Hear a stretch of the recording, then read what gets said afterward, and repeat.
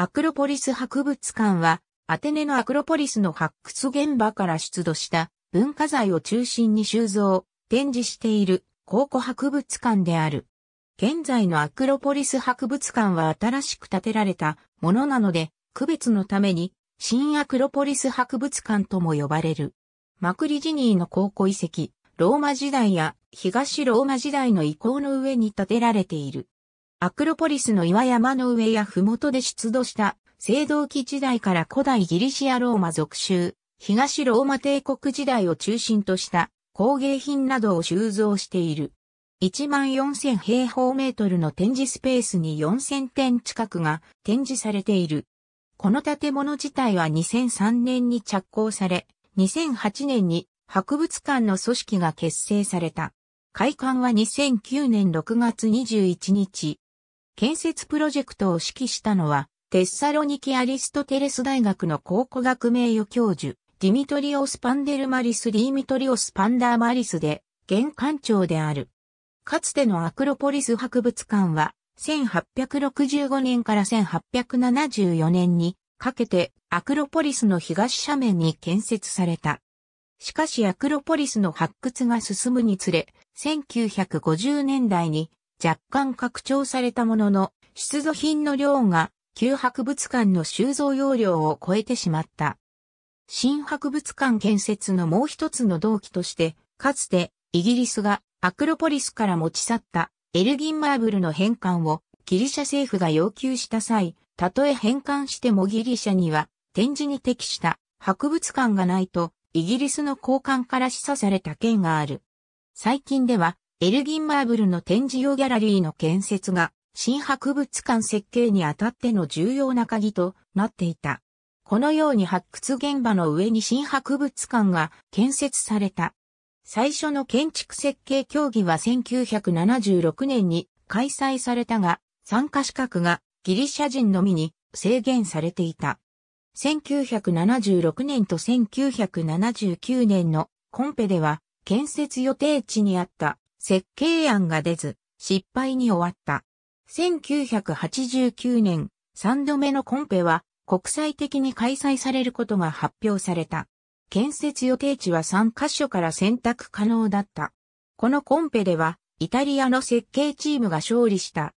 この3度目の設計案に基づいて1990年代に慎重に予定地の発掘調査を行ったところ、考古学的に非常に貴重な遺構が見つかり、1999年にこのコンペの結果は無効となった。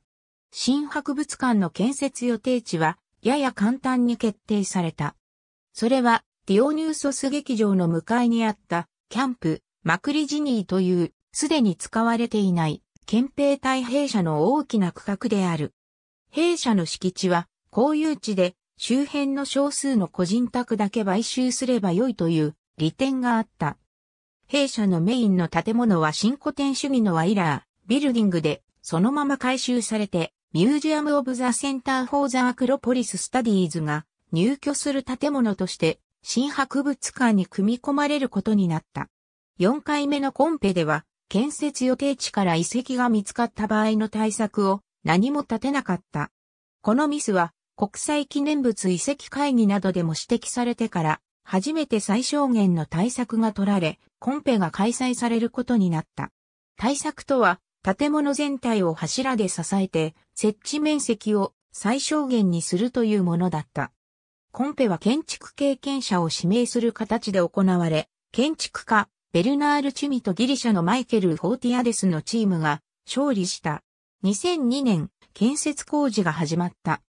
当初計画では2004年のアテネオリンピックにまでに開館する予定だったが、住民の立ち退き拒否、遺跡保全問題や景観問題による反対運動などにより大幅に遅れることとなった。発掘によって出てきたのは個人の普通の家と工房の二層の移行で、上層は東ローマ帝国初期のもの、下層は古典期のものだった。全体の配置と相乗の分析が済むと、柱を立てるのに適した場所が特定された。柱の基礎を土壌層を突っ切って、基盤岩に設置し、そこにコロ軸受けを置いた上で柱を立て、マグニチュード10の地震にも耐えられるようにした。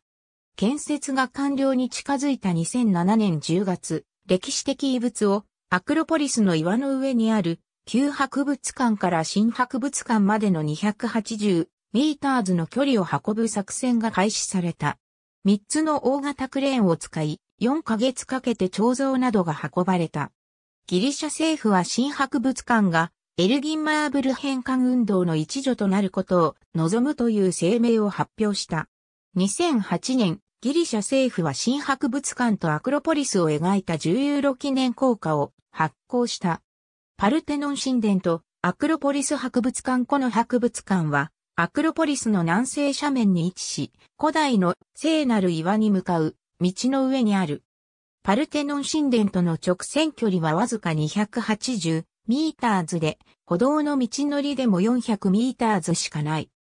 古代遺跡にこれほど近い場所に建てられた現代的博物館としては最大のものだが、アクロポリスには150年も前からもっと近くに普通の建物が多数存在した。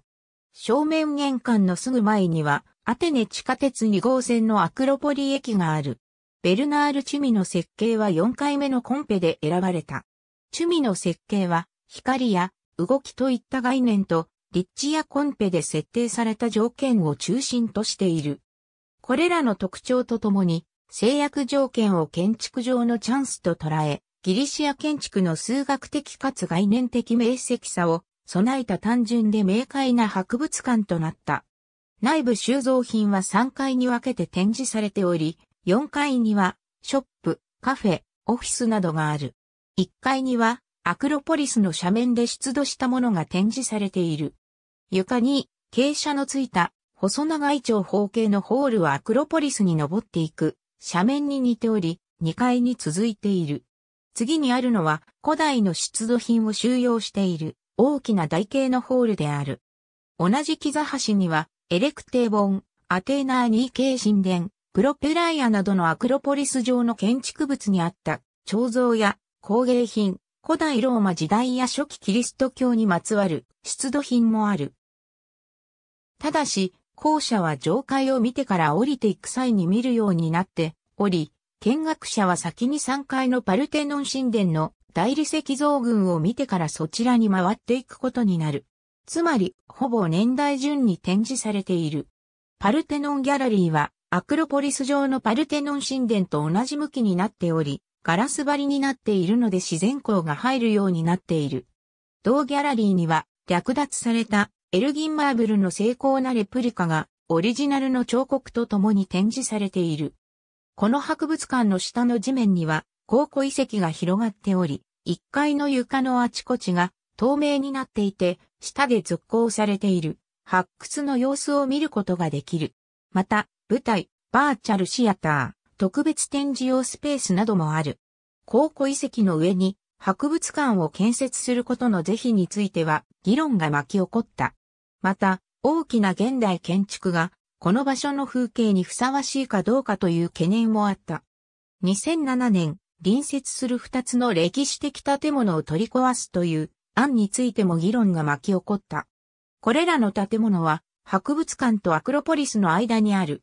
ベルナール・チュミは、それらの建物と4階建てほどの高さのある木々を除去した場合の博物館からの眺めを合成して画像で示した。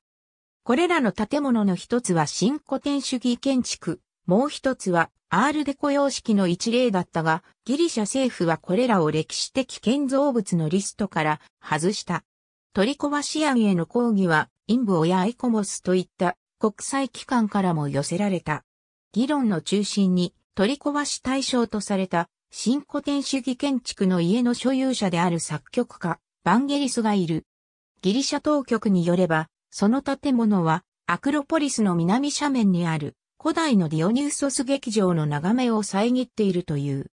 これに対してバンゲリスは彼の家を含めた取り壊し対象の一角が新博物館の食堂からの眺めを遮っていることが真の取り壊し理由だと主張し、ギリシャ政府による建築上のテロリズムだと非難した。